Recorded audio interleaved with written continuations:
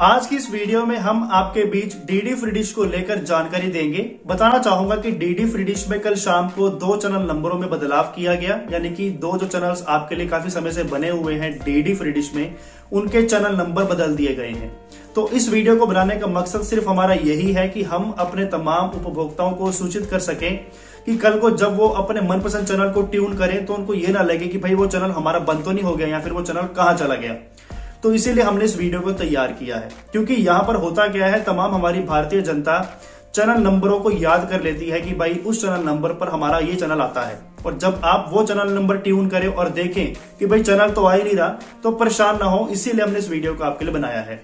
ये जो दो चैनल नंबरों की जानकारी है, वो हो सकता है कि आपको बाकी यूट्यूबर्स के द्वारा या फिर और कई सोर्सेज से जानकारी मिल चुकी हो, लेकिन हमारा भी फ़र्ज़ बनता है कि हम भी अपने दर्शकों को उसके बारे में जानकारी दें। तो ये जो दो चैनल नंबरों में बदलाव हुआ है, वो बेसिकली एक ही ब्रॉडकास्टर के चैनलों के बीच हुआ है, यानी कि जो भी चेंजेस हुई है, वो ब्रॉडकास्टर की मर्ज़ी से हुई है, ना कि डी फ्रीडिश की मर्ज़ी से।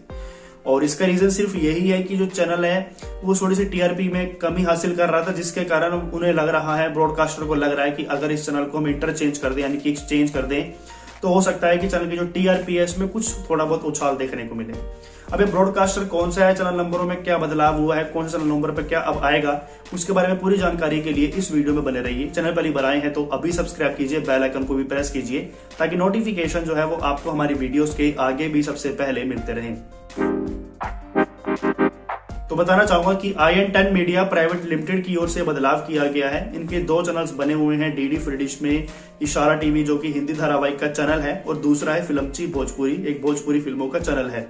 इन दोनों चैनल नंबरों में बदलाव हो गया है, यानी कि इन्होंने एक्सचेंज कर लिया है।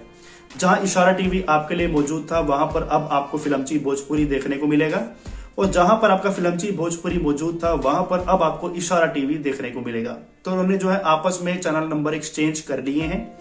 फ़र्क सिर्फ़ इतना है कि इशारा टीवी जो आपको शुरू में देखने को मिलता था, वो बिल्कुल आखिरी में मिलेगा और जो फिल्मची बिल्कुल आखिरी में आता था, वो अब बिल्कुल शुरुआत में आएगा। तो जो बदलाव हुआ है, वो बेसिकली फिल्मची की टीआरपी को बढ़ाने के पीछे हुआ है कि थोड़ा सा जो इजाफा है, वो भोजपुरी चैनल को जो है इनके मिल सके, जिसके बाद उनको टीआरपी मिलेगी तो ऑडियंस मिलेगी तो अच्छा खासा रेवेन्यू भी मिलेगा।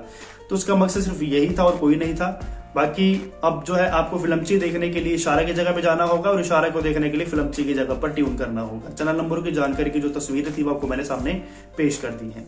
बाकी इसके अलावा आपके बारे में कोई सवाल हो, कोई सुझाव हो तो नीचे कमेंट बॉक्स में आपका हार्दिक स्वागत है और कोई ऐसा टॉपिक हो जिस पर आप वीडियो देखना चाहते हो तो वो भी नीचे आप बता सकते हैं हमें।